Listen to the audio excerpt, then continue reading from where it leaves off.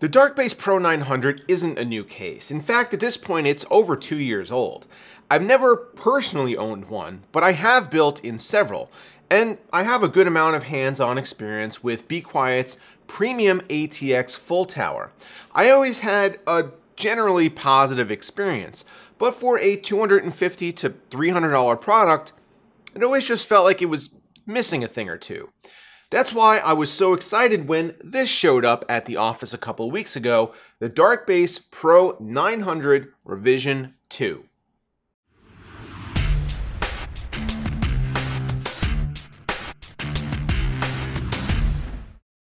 Let's first touch on the things that carry over from the original to this new version that I really like. As with most Be Quiet products, the build quality, premium materials, the craftsmanship, and attention to detail is just top notch. Everything from the perfect fitting black rimmed side panel tempered glass, to the reversible sound deadening front door, to the colored accent trim, has alignment, contouring, style, and function that shows just how much time Be Quiet's engineering team spent on designing this case. There's no escaping the fact that this is a large tower, but the contours, the subtle curves and lines around the exterior, and the configuration of the interior compartment really makes this feel more akin to, let's say, a large mid-tower than a behemoth like the Phanteks Enthoo Elite.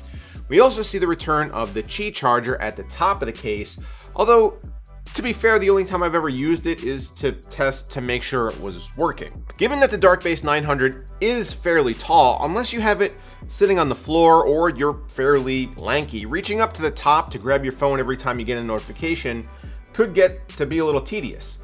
Still though, it's a small value add overall without any real downside.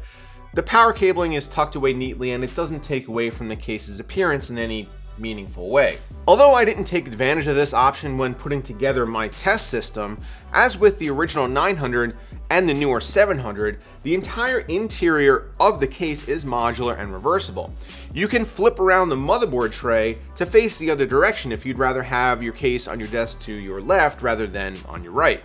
This does require removal of quite a few screws and mounting posts, as you will have to flip the motherboard tray the rear case wall, the power supply shroud, and the glass window.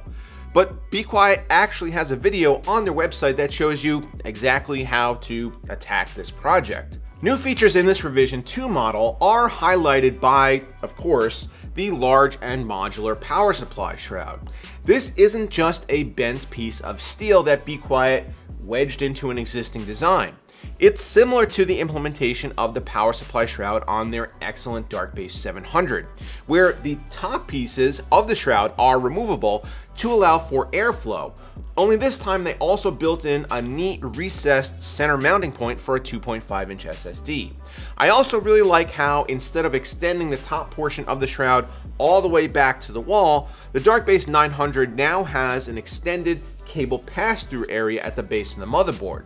Because often motherboards have lots of connection points down at the bottom, especially high-end ones like this Zenith Extreme, having one or two cable cutouts sometimes doesn't cut it.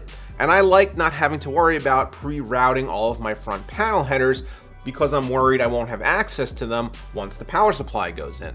But speaking of the power supply installation, that is one of the drawbacks of this design. Be Quiet apparently could not engineer a way to insert the power supply from the rear, the backside, or the bottom, so the only way to get it in is to actually remove this shroud entirely. This involves several screws and much more time than is usually allocated to this task. And companies like Cooler Master have tried this approach only to walk it back in later revisions of the case because it's rather inconvenient. Still though, I think overall I'd rather have the shroud than not, and I think as long as people are aware that they have to install their power supply this way, they could plan around it accordingly. The interior redesign also extends to these modular bay covers, the same thing we saw with the Dark Base 700. These covers allow for the installation of up to five 3.5 inch hard drive cages to go with the two that are below down under the shroud, meaning that power users with huge storage arrays will feel right at home here with no shortage of drive mounts. Just be warned, however, that only three add-on sleds come included in the box, so if you need to populate all five, you do need to buy two extras. You can also pop these covers out at up to three different depths to allow for cable routing, as I've done here, and you'll also need to do so if you choose to go with an EATX motherboard. As you can see, the orange grommets are almost entirely covered up. The top space remains open, although it is mostly obscured if you choose to leave the double optical drive bay installed as it comes from the factory, although I do prefer the cleaner look. The included LED lighting strips are now 12 volt RGB compatible, meaning you can connect them up to most motherboards. What I've chosen to do is to take advantage of the included fan and lighting control hub and route all applicable cables back this way so that I only have to connect one fan lead and one RGB plug to my motherboard's headers, making for a much cleaner overall install.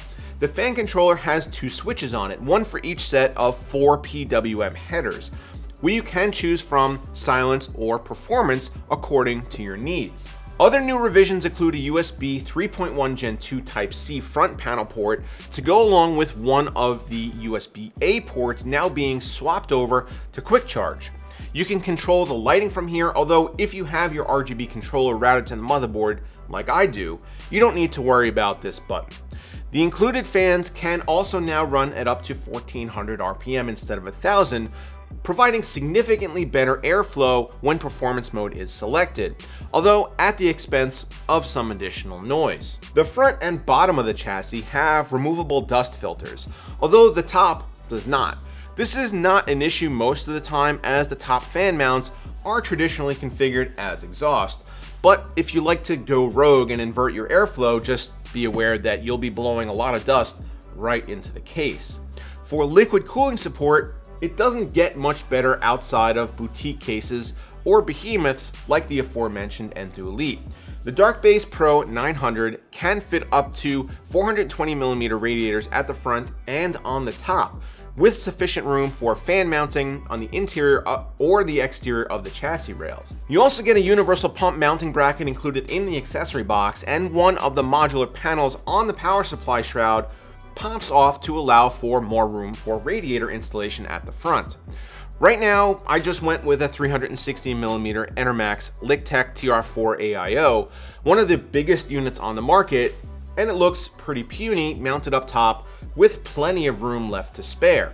Taking a quick look around back, despite my improper routing of the 24 pin cable on top of the metal bracket instead of under it, there's still plenty of room back here to do basically whatever you need.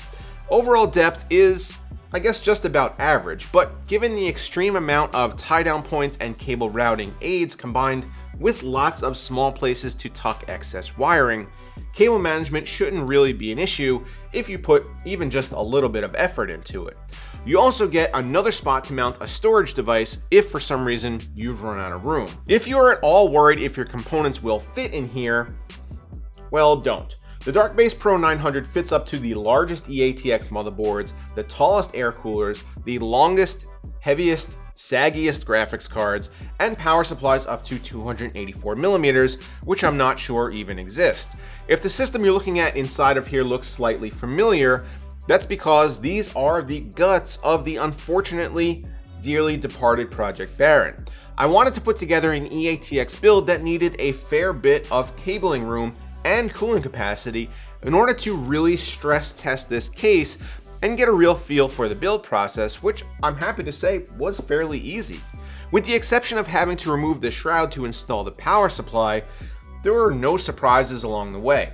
Everything fit right, could be routed cleanly, and looked great when completed. Working in a case this large definitely has its benefits, and the Darkbase Pro 900 would gladly welcome beefy SLI setups or complicated custom water cooling loops. One thing I think could be improved in this case though is airflow. I understand that silent operation is the main goal here, and one that Be Quiet achieves remarkably well. Even with six fans cranking away cooling an overclocked 1950X and the GPU fans blowing to cool the 1080 Ti while gaming, this build is noticeably quieter than my previous test build inside the Deepcool ARK 90. The sound dampening foam on the inside of the body panels does a great job of keeping much of the ambient noise trapped inside the case. So much so that I've actually been editing a lot of videos recently without headphones on just because I can. However, this does come with a price. The Darkbase Pro 900 has this trademark airflow venting running the entire perimeter, and in theory, this should at least do an adequate job of allowing the internals to breathe. But if you look a little bit closer, you can actually see plastic supports that increase panel rigidity, but almost entirely block off exactly where you need intake and exhaust to go. There are also comically small airflow slits cut at the top panel, but these do virtually nothing. Even with a 360mm AIO bolted on, I couldn't run my 1950X at anything near max overclock. When I had this chip in Project Baron, it ran a 24-7 overclock of 4.1 GHz and I didn't break 50C while stressed, so I know it's capable of that clock speed. However, I could not get an all-core overclock stable at anything over 3.8 GHz, and so I kind of decided that maybe it's just better to leave it at stock and let certain cores boost up to 4 GHz on its own.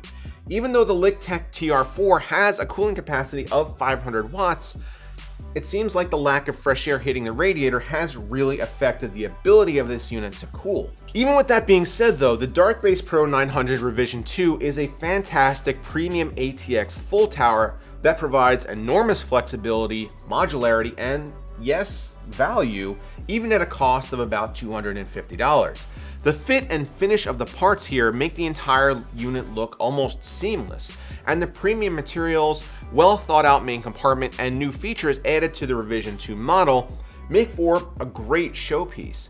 If you're planning on running lower powered or non-overclock components in here, which is unlikely, or if you could figure out a way to just get a bit more airflow going on, which is definitely possible with a little ingenuity, you should definitely consider the Darkbase Pro 900 for your next build. That is, if your next build can stomach the relatively high MSRP.